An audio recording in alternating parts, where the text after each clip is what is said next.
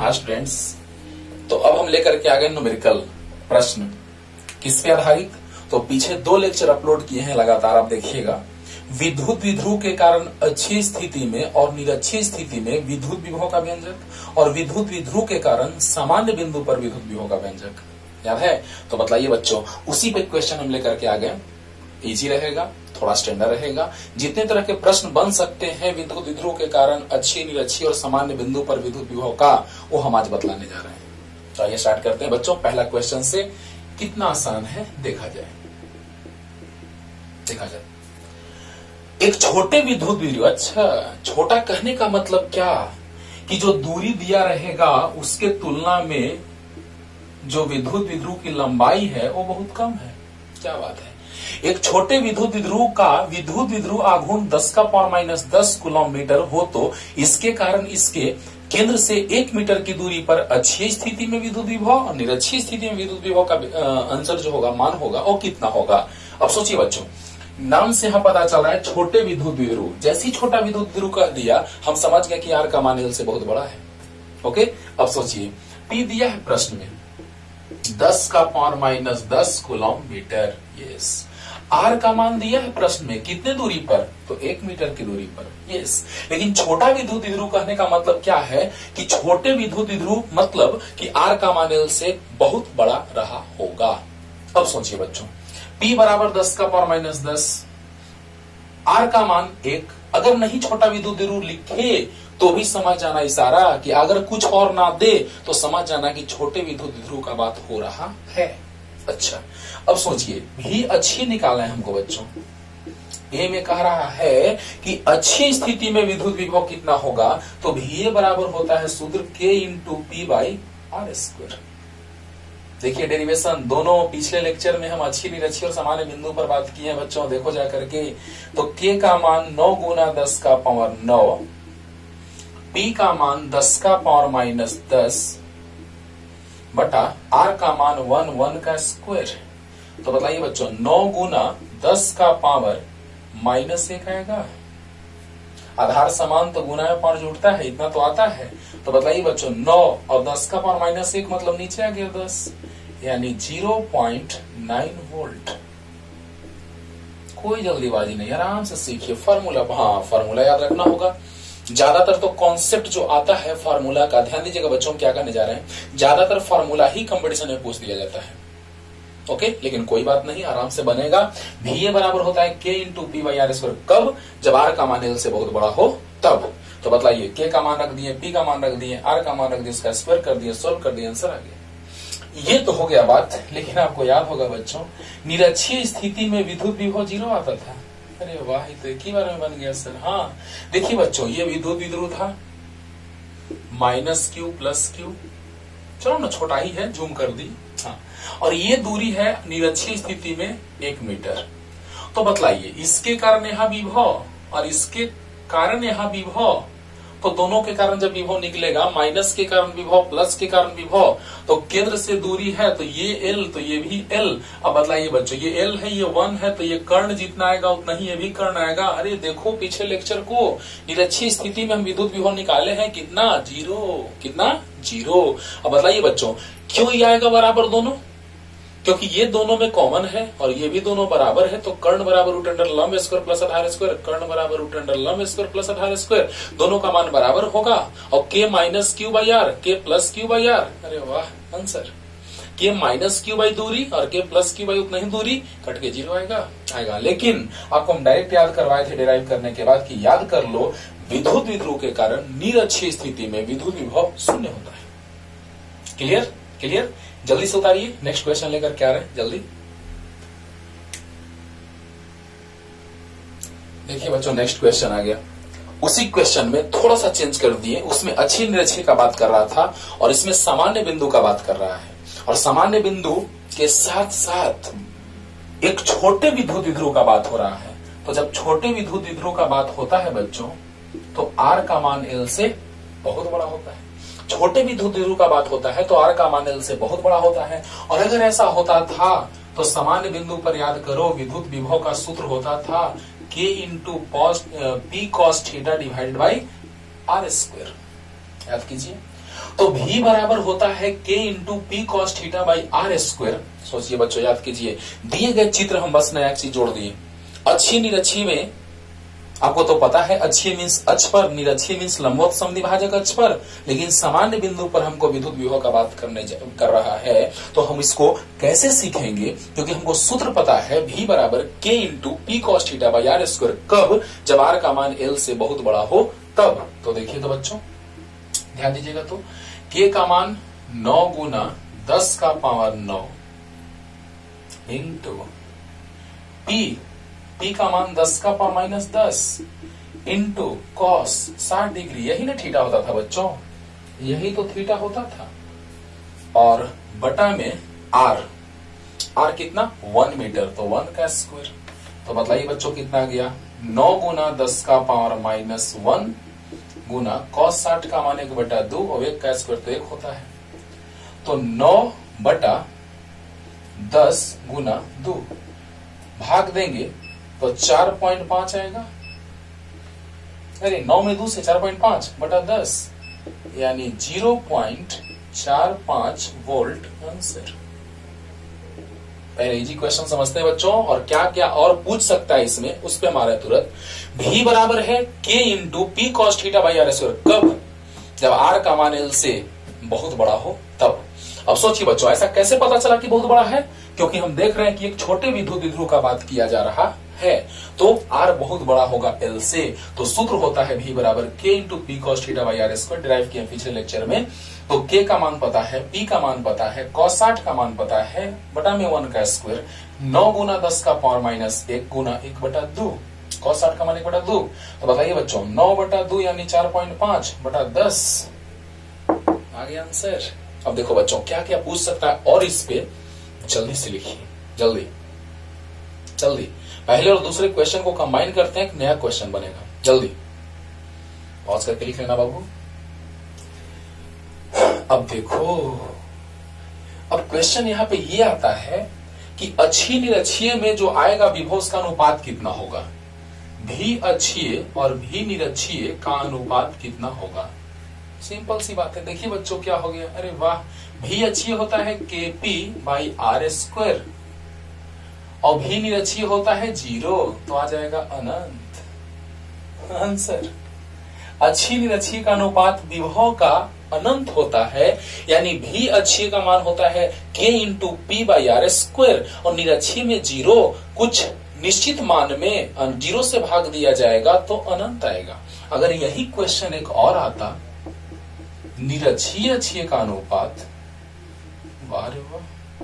निरक्षीय में ज़ीरो और अच्छे में केपी बाई आर स्क्वायर तो ज़ीरो बाई समथिंग बराबर ज़ीरो आंसर क्या बात है?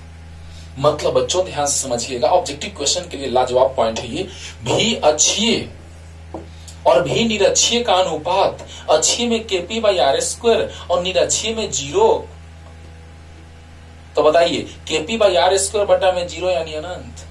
और भी निरक्षीय ज़ीरो। भी अच्छी केपी बाई आर स्क्वायर निरक्षीय में अच्छे से भाग होगा तो ज़ीरो आएगा आएगा। ये तो बात क्लियर हो गया होगा, पहले जल्दी से इतना लिखिए, जल्दी। जल्दी। और अभी तुरंत अच्छी और सामान्य बिंदु का अनुपात थोड़ा देख लेते हैं, क्या होगा। तो भी अच्छी और भी सामान्य बिंदु पर तो भी अच्छी होता है K P by R square और भी सामान्य बिंदु K P cos theta by R square अगर पूछ दिया कि सामान्य बिंदु और अच्छी स्थिति का अनुपात तो जस्ट पलट देंगे। अरे, इतना आता है बच्चों। अगर ये हम सिखला देते हैं आपको तो सामान्य बिंदु और अच्छी का अनुपात भी आप निकाल लेंगे कि विद्युत विभव का अनुपात कितना होगा। अब सोचो बच्चों। यहाँ लिख सकते इसको। अच्छी में याद है केपी आर स्क्वेयर कब? जब विद्युत विभव छोटा हो, तब। जब बड़ा होगा तो अगले क्वेश्चन में तो भी अच्छी है केपी वाई आर स्क्वायर भी KP cos theta by R square आएगा क्या? KP by R square into R square by KP cos theta R square से आर स्क्वायर केपी से KP cancel one by cos theta theta कितना? साठ degree. और मान लिया जाए कि कंपटीशन में इतना ही दे दिया, बस तो अनुपात यही हो जाएगा। भी अनुपात भी जो होगा वो होगा। एक अनुपात कॉस थीटा चार ऑप्शन दिया रहता है बच्चों। अगर मान लिया जाए कि ये अनुपात ना दे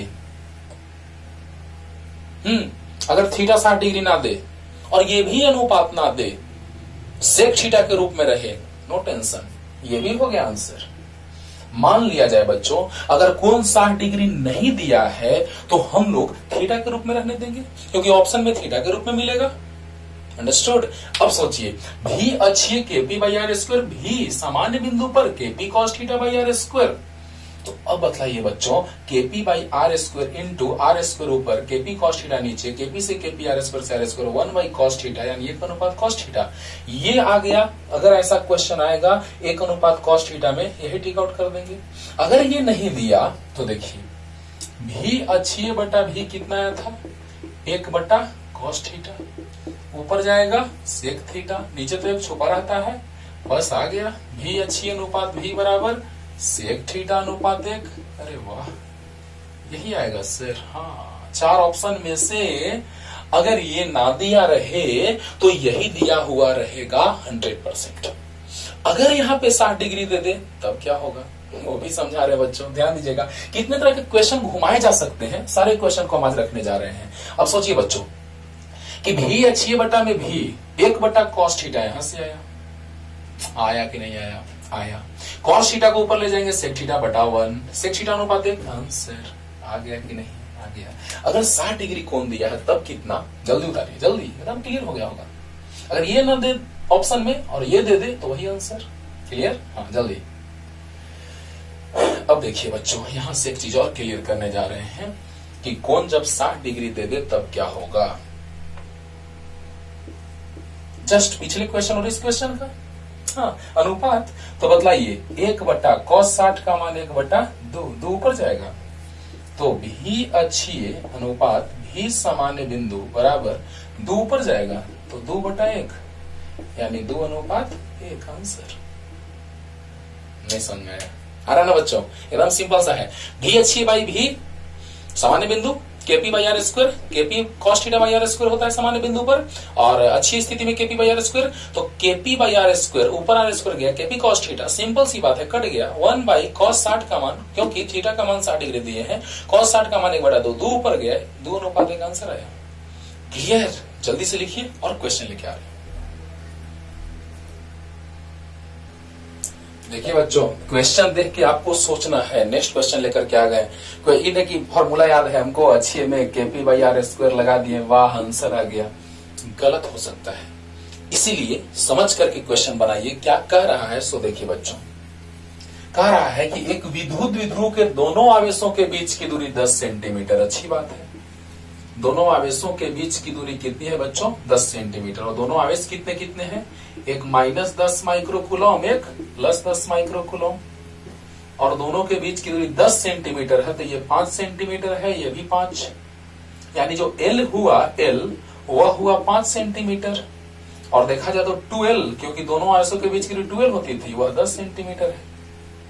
है कि नहीं बच्चों? अब बताइए कितने दूरी पर? इसके केंद्र से 20 सेंटीमीटर की दूरी पर, यानी आर दिया है 20 सेंटीमीटर। ओहो। अब आर का मान एल से बहुत बड़ा नहीं है। आर अगर रहता एक मीटर और ये रहता दो मिलीमीटर, तीन मिलीमीटर, पाँच मिलीमीटर, तब उसके तुलना में ये नगण्य होता। लेकिन अभी ये पाँच, किसी के पास पाँच रुपया है, किसी के पास बीस रुपया है तो क्या पाँच रुपया, बीस रुपया की तुलना में नगण्य हुआ? नहीं। लेकिन किसी के पास अगर दस लाख रुपया है और किसी के पास एक रुपया है हाँ उसको मान लेंगे नगण्य दस लाख की तुलना में एक रुपया को नगण्य मान सकते हैं, लेकिन बीस रुपया की तुलना में पाँच रुपया को नगण्य नहीं मान सकते हैं। मतलब यहाँ पर क्या स्थिति बन गया? आर बड़ा है एल से सोचिए बच्चों क्वेश्चन को पहले अच्छे से पढ़ना है, उसके बाद देखना है कि क्या कर रहा है। है ना? कंपटीशन में इसी टाइप का क्वेश्चन पूछता है। आप डायरेक्ट फॉर्मूला लगा देते हैं केपी बाई आर स्क्वायर पूरा का पूरा गलत हो जाता है। केपी बाई आर स्क्वायर कब? कब? जब विद्युत विध्रुव छोटा हो, तब। और कुछ ना कहे अगर इस टाइप का। डायरेक्ट विद्युत राउंड दे दिया, आर दूरी दे दिया तो बस डायरेक्ट आप लगा दीजिए फॉर्मूला के बाई आर स्क्वायर लेकिन अगर कह दिया क्लियर करके कि, ओ, इस टाइप का विद्युत विध्रुव मतलब ये आपको पता है कि दोनों आवेशों के बीच की दूरी ट्वेल्व होती है? तो ये पूरा ट्वेल्व तो ये एल जल्दी बोलो बच्चों। तो एल जो है वह पाँच सेंटीमीटर है तो ट्वेल्व हो जाएगा दस सेंटीमीटर। दोनों आवेशों के बीच की दूरी दस सेंटीमीटर।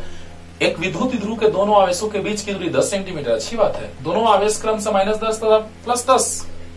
माइक्रोकुलम तो इसके केंद्र से 20 सेंटीमीटर की दूरी पर ना?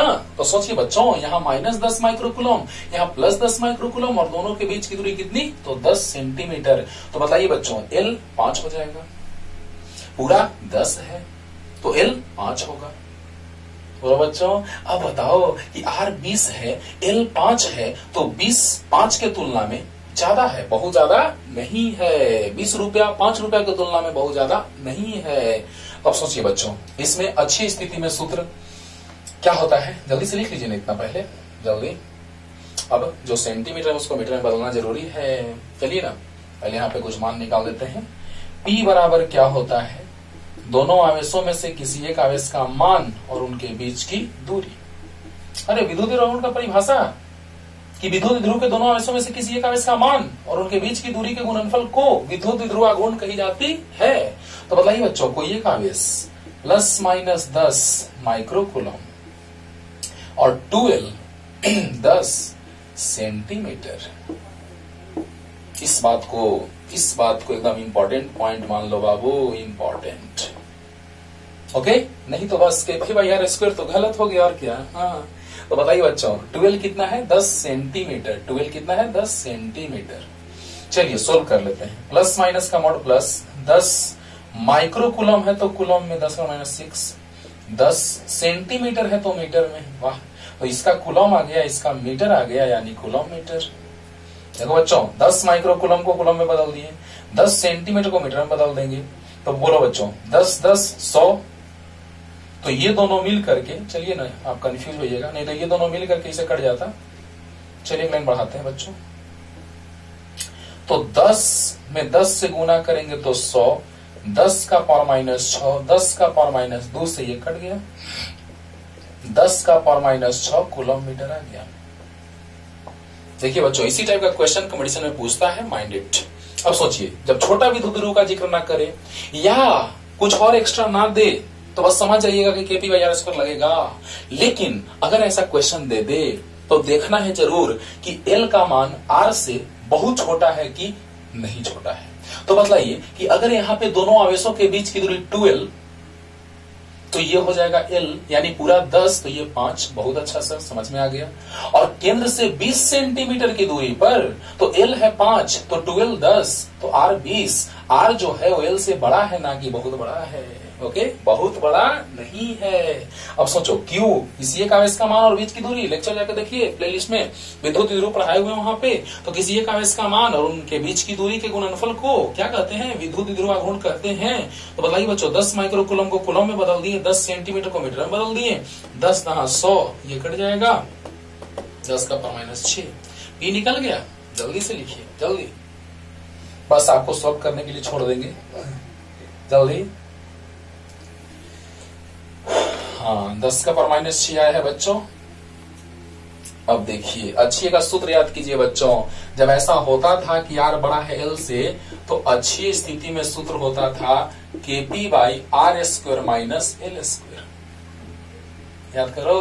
तो बताओ बच्चों के का मान, वाह। पी अभी तुरंत लाए हैं, दस का पर माइनस सिक्स हाँ। आर है बीस सेंटीमीटर तो सेंटीमीटर को मीटर में बदल देंगे। का होल स्क्वायर एल है पाँच सेंटीमीटर को मीटर में बदल देंगे। क्या बात है, हॉल स्क्वायर चलो, ध्यान देना बच्चों, अब सोल्व करना तुम्हारा काम है। तुम्हारा काम है ओके तो भी अच्छी बराबर केपी बस यही समझना है सोल्व यार सोल्व तो करते ही हो। बस इतना समझना है कि कब कौन सूत्र हम लगाएँगे। आप याद कीजिए बच्चों, कि यहाँ पर भी K P by R square minus L square कब होता है? जब आर एल से बड़ा होता है, तब होता है। याद करो। तो बतलाओ बच्चों के का मान पता है पी का मान पता है।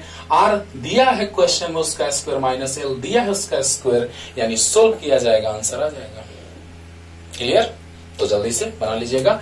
और बात आता है निरक्षी स्थिति में तो विद्युत विध्रुव बड़ा रहे या छोटा रहे बच्चों? ये पाँच सेंटीमीटर, ये भी पाँच सेंटीमीटर, ये बीस सेंटीमीटर निरक्षी मतलब लंबोत समविभाजक अक्ष ये है माइनस दस माइक्रो कुलम और ये है प्लस दस माइक्रो कूलम अब बतलाइए, यहाँ पर हमको निकालना है मान तो ये दूरी और ये दूरी बराबर ही ना होगा। ये छोटा रहे तो ये भी उतना ही रहेगा, और ये जितना है वो रहेगा। ये बड़ा रहे तो ये भी उतना ही होगा, और ये तो दोनों में शामिल है ही। तो कर्ण बराबर रूट अंडर लंब स्क्वायर प्लस आधार स्क्वायर कर्ण बराबर रूट अंडर लंब स्क्वायर प्लस आधार स्क्वायर दूरी तो बराबर हो जाएगा। सोच के देखो यार, इतना तुमको समझाने की ज़रूरत नहीं है। ना? हाँ। ट्वेल्थ क्लास में यार। तो बताइए बच्चों, कर्ण जो आ गया रूट अंडर लंब स्क्वायर प्लस आधार स्क्वायर कर्ण बराबर आ गया रूट अंडर लंब स्क्वायर प्लस आधार स्क्वायर काम खत्म। काम खत्म। अब सोचिए बच्चों निरक्षीय स्थिति में तो जितना K into minus Q by R अरे K Q by R K Q by R तो K minus Q by R K plus Q by R cut के कितना जाएगा? ज़ीरो यानी आप कह सकते हैं क्लाइंट में कि, सर, ये बात हमको याद है कि निरक्षीय स्थिति में जो विभव का मान आता है, वो ज़ीरो आता है. आंसर क्लियर और जब सामान्य बिंदु पे पूछेगा तो बस सामान्य बिंदु वाला सूत्र लगा देंगे K P by R square minus L square cos square theta काम खत्म। सामान्य बिंदु पर अगर यही क्वेश्चन अगर पूछा जाएगा बच्चों तो क्या लगा दीजिएगा सूत्र? K into P by R square minus L square cos square theta clear बस बन जाएगा। जल्दी कीजिए। नेक्स्ट क्वेश्चन लेके आ रहे हैं। जल्दी। नेक्स्ट क्वेश्चन देखा जाए बच्चों। तीनों क्वेश्चन आराम से बनेगा, एकदम एक मिनट में बनेगा। देखा जाए कैसे। ध्यान दीजिए। हाँ अगर समूह ज़्यादा हो आवेशों का तो जो विद्युत विभव निकलता है बच्चों, वह बीज गणितीय योगफल के बराबर होता है, क्योंकि विद्युत विभव एक अधिस राशि है, और अधिस राशियों का बीज गणितीय योग होता है, ना कि सदिश योग। तो देखा जाए, दिए गए चित्रों में एम बिंदु पर विद्युत विभव ज्ञात करें। यदि डी बहुत बड़ा है ऐसे, तथा टू क्यू ए बराबर पी बहुत अच्छी बात है। यहाँ पर अगर ए है, यहाँ एल लेते थे तो टू क्यू एल होता था। अगर यहाँ एल लेते थे तो विद्युत विरोहागुण का परिभाषा क्या होता था? किसी एक आवेश का मान, चाहे प्लस का मान, चाहे माइनस का मान, और बीच की दूरी तो यहाँ बीच की दूरी टू ए है। तो बताइए बच्चों पी बराबर नहीं आ गया, टू क्यू ए आ गया। पी बराबर टू क्यू ए और डी का मान बहुत बड़ा है ए से। मतलब क्या? कि विद्युत विरोध छोटा है कि बड़ा है? छोटा है। अरे वाह, क्या बात है। तो देखा जाए बच्चों ये तो द्विध्रुव है ही नहीं, ये तो सिंपल सा क्वेश्चन है कि भी बराबर होता है फॉर्मूला के इंटू क्यू बाई आर अरे के की बाई आर भी का सूत्र भी बराबर के की बाई आर प्लेलिस्ट में जाइए सेकंड चैप्टर में देखिए बच्चों भी का सूत्र प्रूव किए हुए हैं दूसरे लेक्चर में तो भी बराबर के क्यू बाई आर और ऐसे क्लास में ऑफलाइन क्लास में तो ये बताया हुआ है कि भी बराबर होता है के क्यू बाई आर तो बताइए बच्चों, ये तो डायरेक्ट बन गया। भी बराबर K into Q by R मतलब डी और इसको कुछ इस स्टाइल में आंसर देता है बुक में। कोई दिक्कत नहीं है के का मान रख दिए।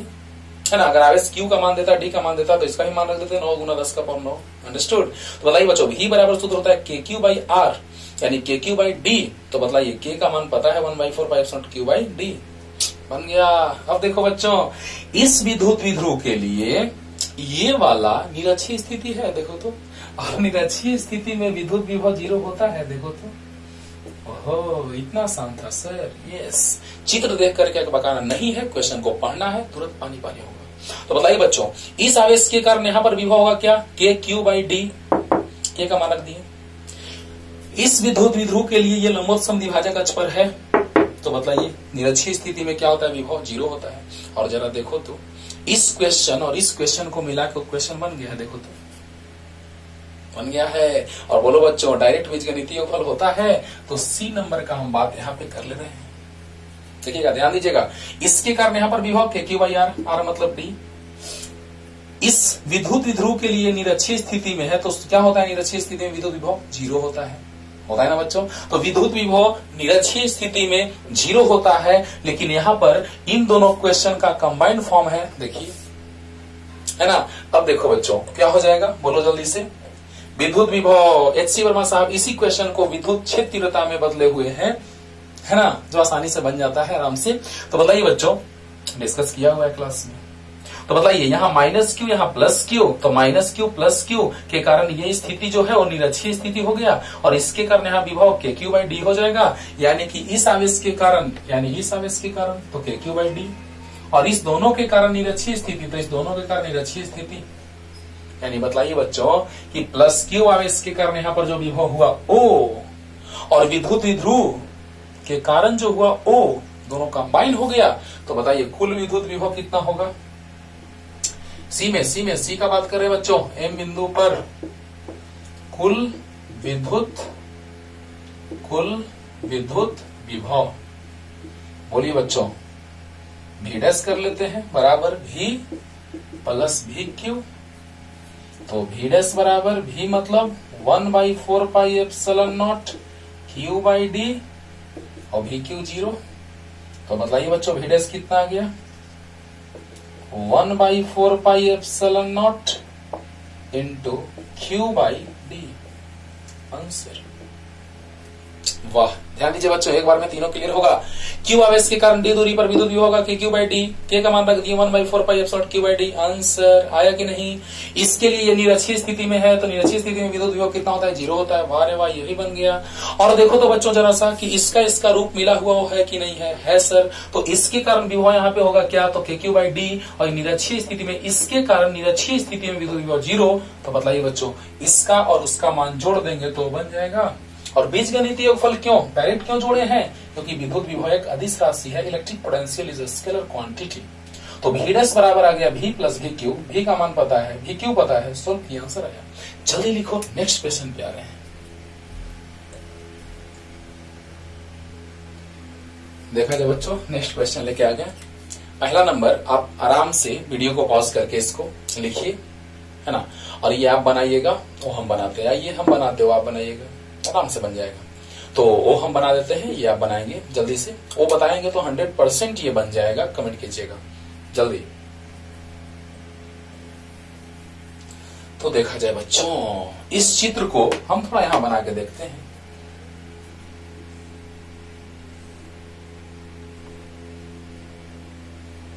यहाँ पर है माइनस टू क्यू यहाँ पर है प्लस पाँच क्यू और यहाँ पर है माइनस तीन क्यू। समबाहु त्रिभुज है। आपको पता है कि शीर्ष से जो सामने की भुजा पर रेखा खींची जाती है, जो माधिका के रूप में जानी जाती है, वह उस भुजा पर लंब होती है। ये इस पर लंब है, ये इस पर लंब है, और ये इस पर लंब है। ये केंद्र ओ है, जिसको हम केंद्रक कहते हैं, बच्चों। अब सोचो। इसको हम लिख सकते हैं, जरा ऐसे देखो तो ध्यान देना तो। ये पाँच क्यू है तो इसको लिख सकते हैं प्लस टू क्यू और प्लस थ्री क्यू सर, ऐसा ही क्यों लिखे? हाँ लिखेंगे। क्योंकि विद्युत ध्रुव का निर्माण तब होगा जब आवेशों का मान बराबर और चिन्ह विपरीत होगा। विद्युत ध्रुव का निर्माण तब होगा जब आवेशों का मान बराबर लेकिन चिन्ह विपरीत होगा। क्लियर अब सोचिए बच्चों, यहाँ माइनस टू क्यू यहाँ प्लस टू क्यू यहाँ प्लस थ्री क्यू यहाँ माइनस थ्री क्यू है कि नहीं है? तो बताइए कि इन दोनों आवेशों के लिए, यानी ये विद्युत ध्रुव जो है, उसके लिए ये निरक्षी स्थिति है। देखो जरा, सोच के देखो। इसके लिए ये निरक्षी स्थिति है, और निरक्षी स्थिति में विभव ज़ीरो होता है। और इसके लिए ये निरक्षी स्थिति है तो यहाँ भी विभव ज़ीरो होगा। यानी कि भी बराबर लिख सकते हैं भी वन प्लस भी टू यानी ज़ीरो प्लस ज़ीरो बराबर ज़ीरो। एक से क्वेश्चन इस पर हम समझाने जा रहे हैं। आराम से बन जाएगा बच्चों। और पिछले अगला, जो दूसरा नंबर क्वेश्चन अभी दिए हैं, उसको आप बनाइएगा। फिर से लास्ट इविटेशन ध्यान दीजिएगा बच्चों हाँ हम डिटेल में मतलब इसको बतलाने जा रहे हैं, ताकि विश्वास हो कि हाँ सर ठीक आया आंसर सही है आंसर ज़ीरो। तो देखो बच्चों, यहाँ माइनस टू क्यू, यहाँ प्लस फाइव क्यू, यहाँ माइनस थ्री क्यू है। तो यहाँ माइनस टू क्यू है तो यहाँ प्लस टू क्यू लेंगे, तब न विद्युत ध्रुव का निर्माण होगा। यस और यहाँ पाँच क्यू है तो पाँच क्यू कब होगा? जब दो क्यू और तीन क्यू होगा, पाँच क्यू हो जाएगा। यहाँ प्लस थ्री क्यू तो यहाँ माइनस तीन क्यू, वाह वाह। तो यहाँ minus two Q, plus two Q मिलकर एक विद्युत ध्रुव बनाया। और केंद्र पे पूछ रहा है तो बताइए बच्चों, ये लंबवत होता है? हाँ होता है। तो इस विद्युत द्विध्रुव के लिए ये लंबवत समद्विभाजक अक्ष पर है, यानी निरक्षी स्थिति में विभव ज़ीरो। इस विद्युत द्विध्रुव के लिए ये लंबवत समद्विभाजक अक्ष यानी निरक्षी स्थिति में विभव ज़ीरो। तो ज़ीरो प्लस ज़ीरो बराबर ज़ीरो। आंसर आ गया। लेकिन अगर इसको आप डिटेल में बनाना चाहें देख रहे हैं बच्चों, निरक्षी स्थिति लेकर के कितना आसानी से क्वेश्चन बन गया बन गया। लेकिन जल्दी से लिखिए पहले, और हम बताने जा रहे हैं आपको। आराम से एक बार लास्ट इसके लिए ये निरक्षी स्थिति है। और स्थिति में विभव ज़ीरो होगा। इस द्विध्रुव के लिए ये निरक्षी स्थिति है तो विद्युत विभव ज़ीरो होगा। जल्दी लिखो बच्चों, और अब इसको डिटेल में समझाने जा रहे हैं। जल्दी। डिटेल में बनाने के लिए यहाँ पे कुछ ऐसा करना पड़ेगा। यहाँ पर है प्लस पाँच क्यू।